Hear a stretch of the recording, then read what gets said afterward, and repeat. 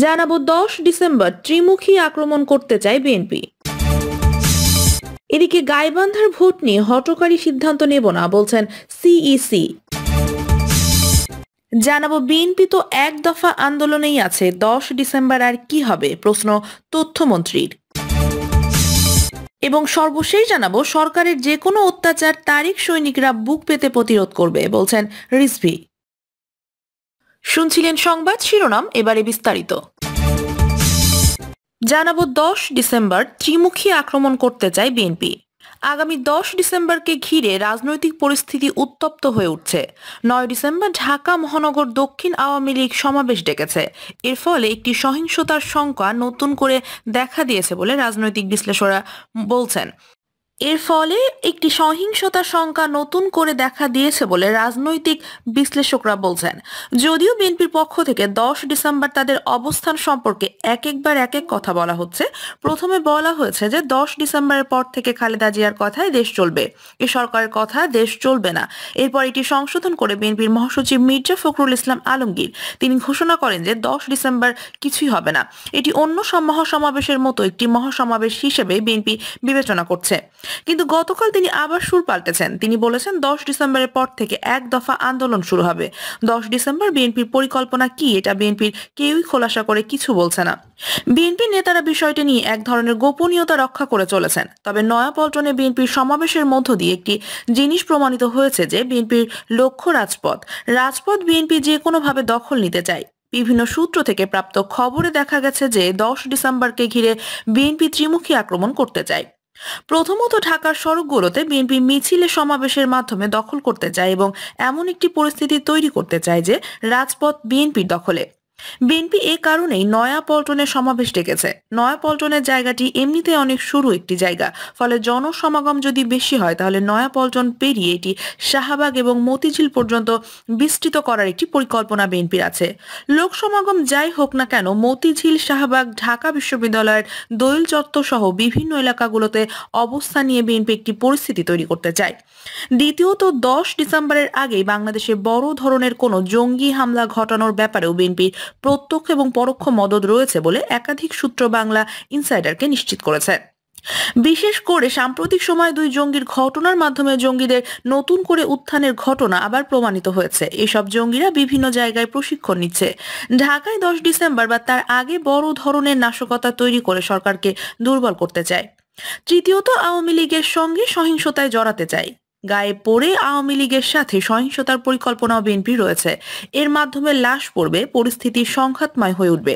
মোট কথা হলো, বিএনপি একটি সহিংস পরিস্থিতি তৈরি করতে চান, যেটির মাধ্যমে তারা এক দফা আন্দোলন সুযোগ সৃষ্টি করতে চায়। বিএনপি নেতারা বলছেন, সরকারকে আর সময় দেওয়া যাবে না। কাজেই ডিসেম্বর মাসে চূড়ান্ত আন্দোলনটি দৃশ্যমান করতে চায়। আর এ লক্ষ্যেই দশ ডিসেম্বর তাদের জন্য টার্নিং পয়েন্ট হিসেবে বিবেচনা করা যাচ্ছে। বিএনপির বিভিন্ন নেতার সাথে কথা বলে জানা গেছে, তারা যদি দশ ডিসেম্বর যদি একটি বা একাধিক লাশ পড়ে, তাহলেই পরিস্থিতি বদলে যেতে পারে। আর সেই লক্ষ্য নিয়েই বিএনপি আগাচ্ছে। গাইবান্ধার ভোট নিয়ে হটকারী সিদ্ধান্ত নেব না, বলছেন সিইসি। বন্ধ ঘোষিত গাইবান্ধা পাঁচ আসনে নির্বাচনী অনিয়মের প্রতিবেদন নিয়ে কোনো হটকারী সিদ্ধান্ত নেব না বলে মন্তব্য করেছেন প্রধান নির্বাচন কমিশনার কাজী হাবিবুল আওয়াল বারো অক্টোবর একান্নটি কেন্দ্রে ব্যাপক অনিয়মের কারণে উপনির্বাচনের মাঝপথে নির্বাচন বন্ধ করার ঘোষণা দেন সিইসি। এরপর একটি তদন্ত কমিটি গঠন করে অনিয়মে জড়িতদের শাস্তির আওতায় আনার ঘোষণাও দেন। সে কমিটি ইতোমধ্যে প্রতিবেদন জমা দিয়েছে। এই বিষয়ে জানতে চাইলে সিইসি সাংবাদিকদের বলেন, এটা নিয়ে কোনো হটকারী সিদ্ধান্ত নিব না। আমরা পরীক্ষা নিরীক্ষা করছি, দেখছি। গাইবান্ধায় নতুন করে ভোট হবে কিনা? এমন প্রশ্নের জবাবে তিনি বলেন, এখন কিচ্ছু বলব না। ওয়েট করেন আপনারা, একটু ওয়েট করেন। বিএনপি তো এক দফা আন্দোলনেই আছে, দশ ডিসেম্বর আর কি হবে? প্রশ্ন তথ্যমন্ত্রীর। তথ্য ও সম্প্রচার মন্ত্রী এবং আওয়ামী লীগের যুগ্ম সাধারণ সম্পাদক ডক্টর হাসান মাহমুদ বলেছেন, খালি কলসি বাজে বেশির মতোই বিএনপি নেতারা ঢাকায় তাদের দশ ডিসেম্বরের সমাবেশ নিয়ে বাগাড়ম্বার করছেন। মির্জা ফখরুল সাহেব সহ বিএনপি নেতারা তো সরকারি পদত্যাগ দাবি করছেন। বারো থেকে ১৩ বছর ধরে ওনারা এক দফা আন্দোলনেই তো আছেন। আর দশ ডিসেম্বর কতটুকু কি হবে সেটা আমরা জানি এবং বুঝি। আজ বুধবার দুপুরে সচিবালয় তার মন্ত্রণালয়ের সভাকক্ষে সাংবাদিকদের সঙ্গে মত বিনিময়ে তিনি একথা কথা বলেন। ডাক্তার হাসান মাহমুদ বলেন, সারা দেশে তো ওনারা সমাবেশ করেছেন। সমাবেশের নামে কোনো কোনো জায়গায় পিকনিক করেছেন, বিশৃঙ্খলাও সৃষ্টি করেছেন এবং বিভাগীয় পর্যায়ে সমাবেশের যে হাক ডাক তারা দিয়েছিলেন, তার কোনো প্রতিফলন সমাবেশগুলোতে ছিল না। সাম্প্রতিক সময়ে আমাদের কোনো সহযোগী সংগঠনের সম্মেলনে যত মানুষ হয়েছে, তাদের মহাসমাবেশগুলোতে সেরকম হয়নি।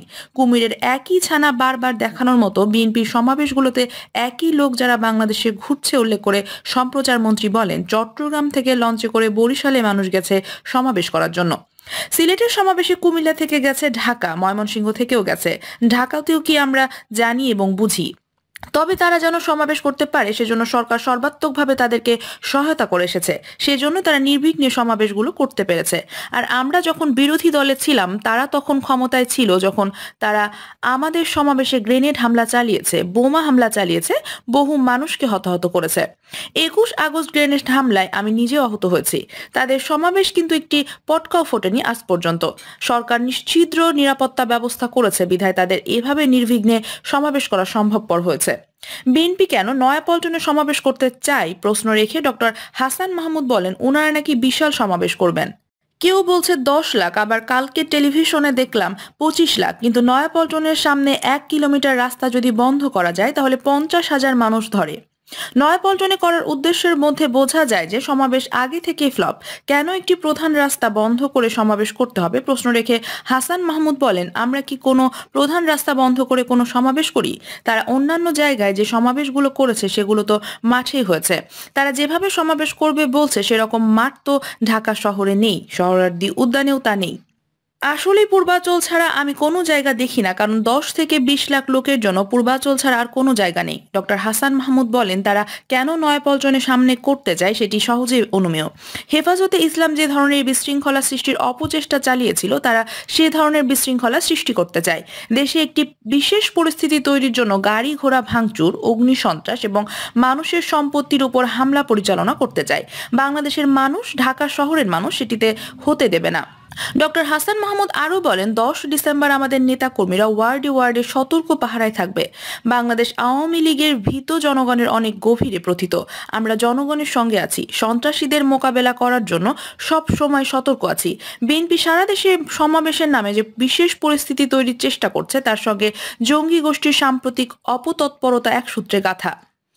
টার্গেটেড কিলিং সন্ত্রাস সহ তাদের নানা পরিকল্পনা রয়েছে। দু হাজার তেরো দু হাজার চোদ্দ, পনেরো সালে যখন মানুষ শুধু নয়, পশু, পাখি, গরু ও মুরগির ওপর হামলা পরিচালনা করেছিল।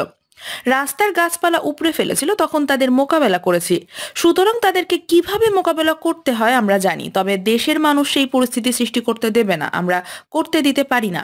বাংলাদেশ আওয়ামী লীগ যা কিছু করবে, সেটি দেশের শান্তি, স্থিতি শৃঙ্খলা রক্ষার স্বার্থেই করবে। দশ ডিসেম্বর পরিবহন ধর্মঘট থাকবে কিনা, এই প্রশ্নের জবাবে আওয়ামী লীগের যুগ্ম সাধারণ সম্পাদক বলেন, দেখুন, বাস, ট্রাক, মালিক সমিতি এগুলো বেসরকারি সংগঠন, এখানে সব দলের নেতারা আছে, সব দল মিলেই বাস, ট্রাক, মালিক সমিতি সমিতি এবং শ্রমিক সংগঠনগুলোতেও সব দল আছে। এটি তাদের ব্যাপার। এ ব্যাপারে আমাদের কোনো জানাশোনা নেই, আমাদের কোনো হাতও নেই। সরকারের যে কোনো অত্যাচার তারেক সৈনিকরা বুক পেতে প্রতিরোধ করবে, বলছেন রিজভি। ধারাবাহিক হত্যার মধ্য দিয়ে সরকার ভীতি সৃষ্টি করতে যাচ্ছে মন্তব্য করে বিএনপির সিনিয়র যুগ্ম মহাসচিব রুহুল কবির রিজভি বলেছেন, এতে বিএনপি নেতা কর্মীরা ভীত না, বরং সরকারের যে কোনো অত্যাচার নিজের বুক পেতে তারেক রহমানের সৈনিকরা প্রতিরোধ করবে। রুহুল কবির রিজভি বলেন, এই সরকার জনগণের অধিকারের আন্দোলনকে বন্দুকের নলের মুখে রক্তাক্ত করছে। ভোলাই আব্দুর রহিম, নূরে আলমের হত্যার পরে মুন্সীগঞ্জের শাওন, নারায়ণগঞ্জের শাওন, যশোরে আলিম হত্যা, এরই ধারাবাহিকতায় ব্রাহ্মণবাড়িয়ার বাঞ্চারামপুরের ছাত্রদল নেতা নয়ন মিয়াকে হত্যা করা হয়েছে। এ হত্যার মধ্য দিয়ে সরকার ভয় ভীতির সৃষ্টি করতে চায়। কিন্তু জাতীয়তাবাদী শক্তি দেশ নায়ক তারেক রহমানের সৈনিক খালেদা জিয়ার সৈনিক এবং জিয়াউর রহমানের সৈনিক এরা এতে বিচলিত নন। সরকারের যে কোনো জুলুম নিজের বুক পেতে প্রতিরোধ করবে। তিনি বলেন, সরকার পতনের আন্দোলন শুরু হয়ে গেছে। এই আন্দোলন ঠেকানোর ক্ষমতা সরকারের নেই। হত্যা, মামলা, নির্যাতন করে জনগণের আন্দোলন দমানো যাবে না। সরকারের দুঃশাসনের বিরুদ্ধে সারা দেশের মানুষের যে তীব্র ক্ষোভের সৃষ্টি হয়েছে, তা দমনের ক্ষমতা তাদের নেই। জনগণের দাবি একটাই, তা হলো এই সরকারের বিদায়। গণতন্ত্রের মুক্তি এবং গণতন্ত্রের মা বেগম খালেদা জিয়ার মুক্তি। এ সময় তিনি আরও বলেন, আগামী দশ ডিসেম্বর নাকি সমাবেশ করতে দেওয়া হবে না। দশ তারিখে নয়াপল্টনে সমাবেশ হবেই হবে। কোনো বাধাই বিএনপির সমাবেশ ঠেকাতে পারবে না। প্রিয় দর্শক, এই ছিল এখনকার সর্বশেষ সংবাদ। আপডেট সব সংবাদ পেতে চ্যানেলটি সাবস্ক্রাইব করে পাশে থাকা বেল বাটনটি ক্লিক করে রাখুন। ধন্যবাদ সবাইকে এতক্ষণ সাথে থাকার জন্য।